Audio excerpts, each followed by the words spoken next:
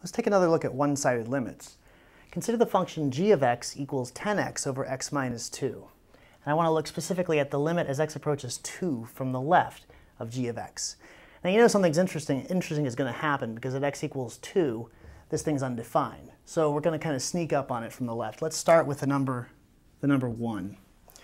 So we have g of x equals 10 times 1, or 10, over 1 minus 2, negative 1.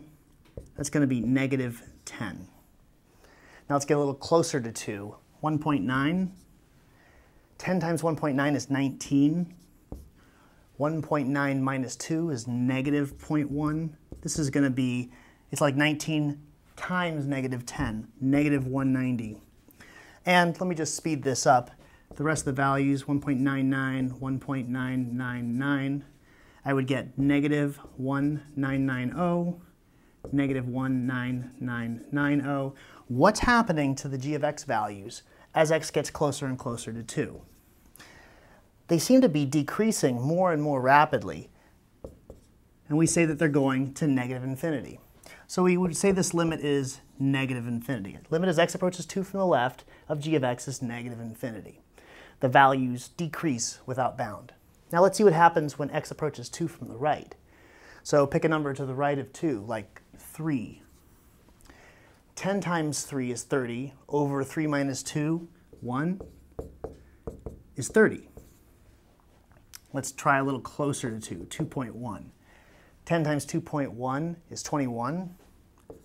Over 2.1 minus 2 over 0.1, that's going to be 210.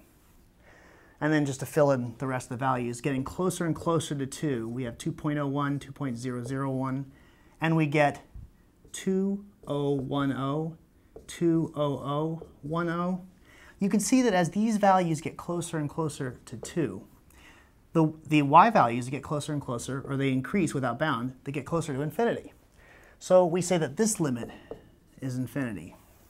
Now, you've seen functions like this before. This is g of x equals 10x over x minus 2.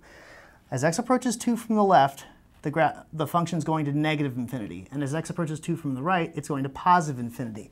These limits signal the presence of a vertical asymptote. And that leads us to this definition.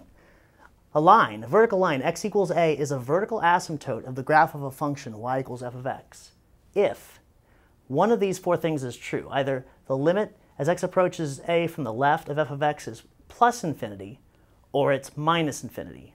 Or the limit as x approaches a from the right is plus infinity or minus infinity. Any one of those four things is true, x equals a is a vertical asymptote. In this case, we have two of those things true. The limit as x approaches 2 from the left is negative infinity.